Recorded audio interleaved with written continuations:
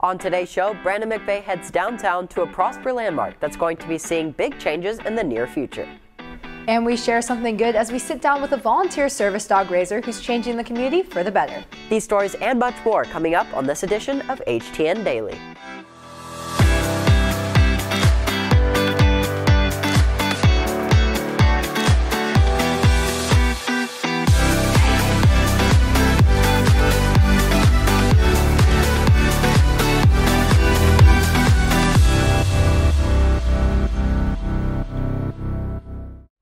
Good afternoon, Rock Hill. Today is Friday, May 21st, and might I add, Rock Hill's very first last day of school, and for some of us, our last day of high school.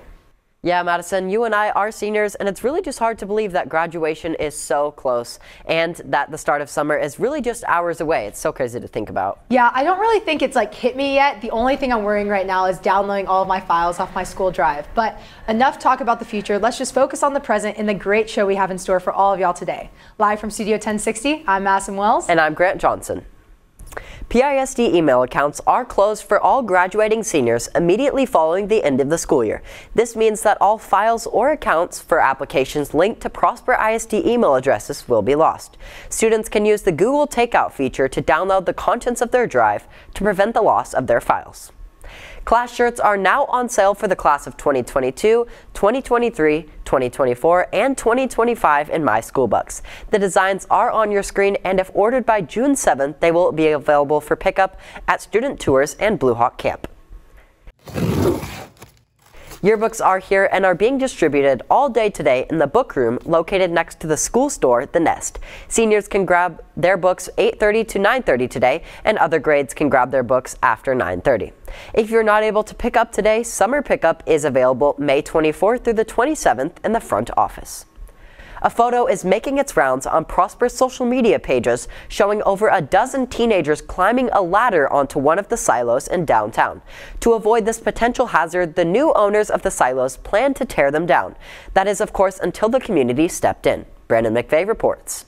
There's no question that the silos are a monumental part in Prosper's history, having been built when the area was still known as Richland. They have been giving businesses and people the small town, big heart feel that many seek while moving to Prosper. Living here for 15 years, I think, you know, it's a symbol of our small town and it gives the whole downtown a different feeling of it's an important thing to keep them there and keep that history a part of our town. With continued development in and around the area, residents will see a change in the downtown landscape.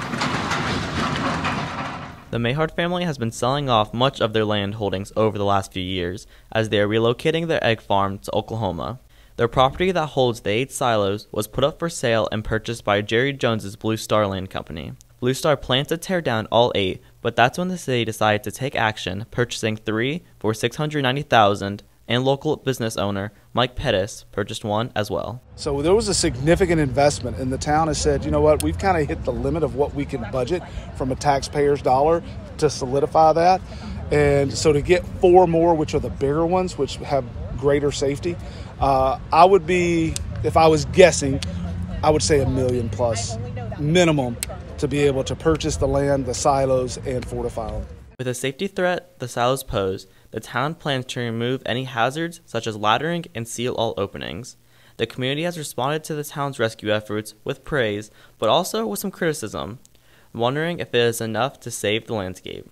Even though the silos have not been used for years, the downtown area has used their presence for inspiration, business, and marketing. It's obviously a developing area and you know things are going to be changing, but I still think it's important, especially in our downtown, to keep you know, a little piece of our history and our, you know, small town feel. Personally, I'd love to see them stay, but property rights in Texas, the owner has the right to do with it. We've purchased all that we can. Maybe the community can come together and raise the funds to see if we can save them. For HTN Daily, I'm Brandon McVay. There have been many conversations about creating a GoFundMe to raise the additional funds, but the remaining four silos would cost over $1 million, so we'll keep you updated on their efforts. With the nation starting to recover from COVID, bigger events with more people are being held safely. A nonprofit food pantry called Neighbors Nourishing Neighbors, located in Prosper, hosted a car meet called Hot Dogs and Hot Rods Saturday. Anica Hankey shared the memories before the miles. Uh, it was the most exhilarating time of my life. Whether it's a trip to see the newest Corvette or to be taken back to the 50s, there's a car for everyone at Hot Dogs and Hot Rods. But behind every license plate, there's a story. I bought this car from my neighbor in California in 1968 and he had purchased it new. From the date that he bought it, I knew that I wanted that car. Every time he ran, every time he drove it down the street, I mean, I was like in awe. Having this car for over five decades, not everything has stayed in pristine shape. My dad, before he passed away, he and I worked on it in California. And it was just kind of a bonding time for he and I, and uh, uh, just treasure those moments. While there is a charm to seeing a car with so many years behind its bumper, even the new cars have a story. I grew up in Michigan in the 50s and 60s when Detroit was king of the car world and my dad bought and sold cars and I was the oldest kid so I was always holding the flashlight and chasing parts. With years under his belt, Larry has swapped out his fixer-upper for a new one. Most of us old guys like uh, the old cars and we think about the ones that we shouldn't have sold but I wanted something with a warranty and I have a big toolbox tiled in my head but I don't want to turn wrenches anymore. That's fun, those are fun, but this is more appropriate for what I want to do. With every mile driven for each car, there's a story along with it. For HTN Daily, I'm Anica Hankey. There are over 60 cars and 200 people participating in Neighbors Nourishing Neighbors considers Hot Dogs and Hot Rods one of their largest fundraisers of the year. When Rogers Middle School students were told to just let it go and give up their hopes on putting on a musical, Rock Hill's theater department stepped in at the last minute to bring Frozen Jr. to life. Kyla Lewis reports. From costumes to props or even memorizing lines, bringing Frozen Jr. to the stage is a challenge that Rogers Middle School experienced firsthand. When they lost their director due to medical leave, Rock Hill director Sierra Haney was there. The parents and the kids were obviously really upset about it and, you know, wanted to do the show. And they sent me a list of everything that needed to be done and they were like, Can you do this in a week and a half? And I was like, No. And then uh, they said, Well, what if we push the performance and you could do it at Rock Hill? And I was like, Maybe. And then um, pretty much after that, it was, I'm going to do this. Chipping in to help with running lights or sound or even joining the cast, the high school students also played a role in making this production happen. We actually have a very small cast as it is. A lot of the actors are playing a character and then another person's playing that same characters. Um, so the ensemble's really small, so I wasn't comfortable pulling somebody up from the ensemble. And then I was like, you know what? The rights and royalties allow us to use high school students, so I'm just going to pull one of my high school students and put them in this little role. Um, and Ethan was perfect for it. Ethan said he was happy to help out his old middle school in a way he never expected. So my part in the play is King Agnar, um, the king of the royal family in Frozen 1. And soon enough, after a few scenes in the show, I pass away in the shipwreck. But it's a really fun role to develop in the only two weeks I have. For HTN Daily, I'm Kyla Lewis. Frozen Jr. premiered in the auditorium last night, and might I say, my Twitter had some raving reviews this morning on it. Orchestra held their end of the year concert this past week where they honored the seniors. I got a chance to sit down with senior Paulo Amargo, a student who does not let his autism hold him back in his musical abilities. Instruments are a way of expression to help people open their minds and experience something out of their comfort zone. Paul Amargo, a student with autism, has used this to his advantage while finding his love of music from a young age. I first played the drums when I was in the Philippines when I was about three or four years old, I believe, just before we moved to the USA. And then I started playing the viola in Kentucky five years ago.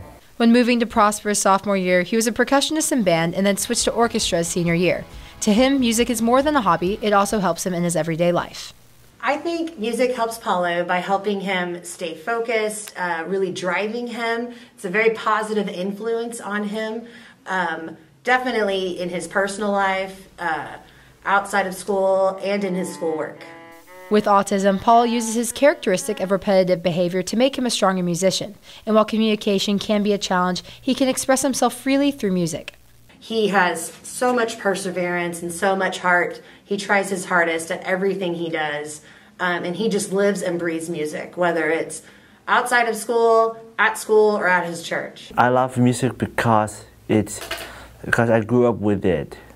I just I just love the drum beats and and noise that they make.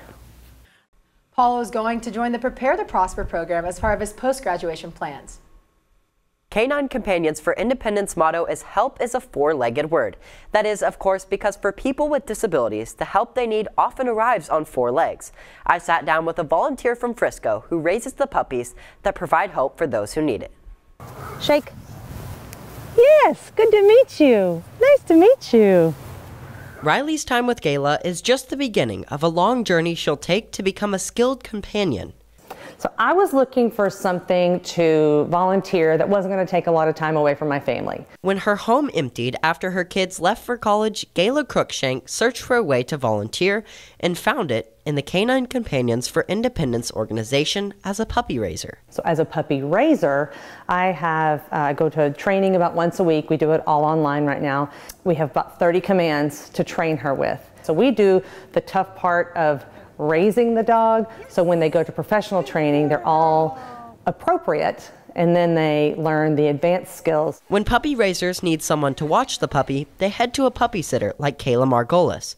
Kayla brings Riley out in the community when she's visiting and educates the younger generation on service animals. Oh, they always just like, oh my gosh, like I love your dog, and I was like, thank you, and then I would just tell her like what she's for and like what she's doing and like her purpose. And they always ask me, oh my gosh, like, is it going to be so hard to give her up? And I'm like, yes, but you have to remember her main goal is to be helping someone that needs it. After the puppy leaves the raiser, they're then matriculated into the professional training program, where they'll spend six to nine months learning more challenging commands.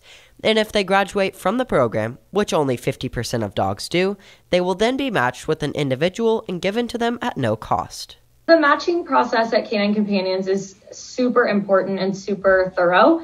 Um, we actually have a 98 to 99% success rate of our matches, and it is because we're looking so closely at what's going to be the best fit. Um, we don't want to just place a dog anywhere. We want it to be a successful working team for the next eight to 10 years that that dog is going to be placed with them. So um, this is my second dog. My first dog was Orenda, the fourth. So she is with a young lady who's a 14 year old uh, young lady in a robotic chair. She has spinal muscular atrophy. The girl is a genius. She needs something to be picked up. She can go get that for her, and Orenda's just her very best friend. Anyone over 18 is eligible to become a puppy raiser, and you don't need any special skills. Just be prepared to open your home and heart for the puppy, and also prepare yourselves for the tough goodbye a year and a half later, knowing the dog has a job to do. Both the softball and baseball teams have made it into their own regional tournaments. Connor Fuxa is in studio with an update on the team's attempts at leaving a legacy. Thank you, Maddie. I'm Connor Fuxa, and this is your season pass to all Rock Hill sports. Softball played their first game in the best of three series against Hallsville on Wednesday. The first game in the series did not go as planned, with the Blue Hawks taking the loss 5 0. Game two, varsity came out hot, building up an early 3 1 lead off of a 2 RBI single from Kat Luna. The Blue Hawks were leading going into the seventh after going up 4 3 in the sixth, but the top of the seventh was a harsh for the Blue Hawks allowing seven runs that led to Rock Hill falling 10 4 and being eliminated from playoff contention. It was a strong season for the girls, with Kat Luna being named a DFW Player of the Week, as well as at one point Rock Hill being ranked second in all of 5A. For a first year team, winning the district and making it to the regional semifinals is an impressive feat. Now, softball was not the only team with some playoff action over the past week. The baseball team matched up against district rivals Lovejoy yet again in the regional quarterfinals. Just like the girls, Game 1 did not go as planned with Rock Hill taking a hard 6-0 loss. Game 2 was a lot closer, coming down to the wire. Josh Livingston had a great game, batting in two RBIs. However, this was not enough for the Blue Hawks, with a final score 4-5 in favor of the Leopards. Lovejoy showed out to be Rock Hill's kryptonite, sweeping the season series 4-0 throughout the entire season. Baseball did, not, did have some big accomplishments like Josh Livingston being named a THSBCA All-Star and making it all the way to quarterfinals as a first-year team. While baseball and softball season ended just before state, the state golf tournament was held this week in Austin. Now Bronwyn Liber finds out how despite his age and class, one freshman golfer put his way into state. Freshman Ryan Schellberg feels at home on the fairways. When I was six, I was like, I kind of like this game, and I started playing all the time. All my friends were playing baseball and football, and I quit all other sports to just pursue this dream. A dream that has led to his first year on varsity and 5A state qualifier. On the first hole, you usually ask how old you are. And every time they're like, oh, you're a freshman, and they kind of like, like, oh, he's not going to do anything. And then I just kind of plug away at him, just beat him. Preparing for such an important moment can bring many nerves and emotions, which is why Ryan's coaches work to keep his routine consistent. So, Coach Rumsey uh, is my assistant. He and I really kind of talked about not changing um, how Ryan was prepared for any other tournament up to this point. Um, you know, you don't want to add that added pressure of state uh, when there already is that natural pressure that you put on yourself. So we've kept his routine and his schedule the same. His practice days are the same. His days that he lifts are the same. Um, and so in, in, reality, we haven't changed anything at all uh, as far as his practice schedule. Ryan had five first place wins and one second place finish in the regular season. At state, he finished 24th overall and the top freshman of the tournament. Um, I didn't play so well in state this year, um, but it happens. It's golf. It's all up to you. No, you can't rely on anybody else. Um, next year, I plan to enjoy the moment more and not be so serious about the whole thing and just enjoy what I'm doing.